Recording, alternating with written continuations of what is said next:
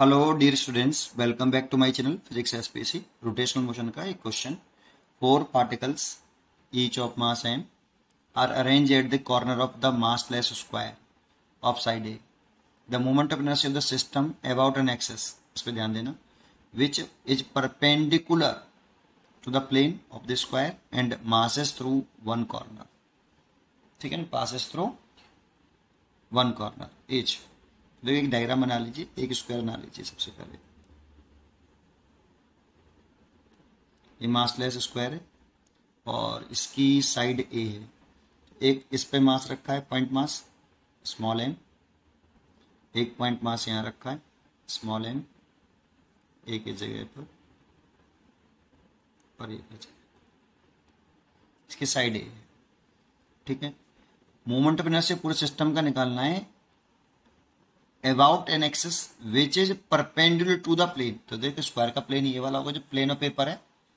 जो पेपर का प्लेन है, वही आपका स्क्वायर का प्लेन है। जो प्लेन सरफेस है पेपर का, वही स्क्वायर का प्लेन सरफेस है। उसके perpendicular passes through the one corner कोई से भी एक कॉर्नर से, जैसे ए से कर लो बी से सी और डी इस जगह से पास हो रहा है, मान लो, इस जगह से। इसके अबाउट मोमेंट ऑफ़ इनर्शिया हमसे पूरे सिस्टम का पूछ रहा है। ठीक है? तो देखो, ये आपका ऐसे हो गया। स्क्वायर के प्लेन के परपेंडुलर और वन कॉर्नर से पास होने वाले चीज़ के अबाउट चाहिए फॉर्मूला क्या। है इसका? अगर कोई भी एक पार्टिकल है, कोई भी एक पार्टिकल है, जैसे ये कोई पार्टिकल है पॉइंट मास है पॉइंट मास इसकी इस एक्सेस के अबाउट मूवमेंट ऑफ़ इनर्शिया निकालना है। इस पार्टिकल का इस एक्सेस के अबाउट मूवमेंट ऑफ़ इनर्शिया निकालना है। तो इनके बीच पार्टिकल की एक्सिस के बीच की परपेंडिकुलर सेपरेशन लिखते हैं। I is equal to m r square बस इतना सा कंसेप्ट है कि आप ये ध्यान रखिए, इस एक्सिस के अबाउट मोमेंट ऑफ़ इनर्शिया निकाल रहे हो तो इस पार्टिकल की, इस एक्सिस के बीच की परपेंडिकुलर सेपरेशन लेनी है। परपेंडिकुलर सेपरेशन का स्क्वायर है, बस इतना सा कंसेप्ट ठीक है? अब और सोचो, अगर ये पार्टिकल यहीं पर आ जाए तो परपेंडिकुलर सेपरेशन कितनी? ज़ीरो तो मोमेंट ऑफ़ इनर्शिया ज़ीरो हो जाएगा, ठीक है? बस इतना है। देखिए तो पूरे सिस्टम का मोमेंट ऑफ़ इनर्शिया निकालना है। तो ये पार्टिकल ए का हो गया, ये पार्टिकल बी का, ये पार्टिकल सी का, और ये पार्टिकल डी का। किस एक्सिस के अबाउट इस वाली एक्सिस के अबाउट इसी एक्सिस के अबाउट पार्टिकल ए का निकालना है, इस वाली एक्सिस के अबाउट इस एक्सिस के अबाउट बी का निकालना है सी का निकालना है डी का निकालना है। ठीक है?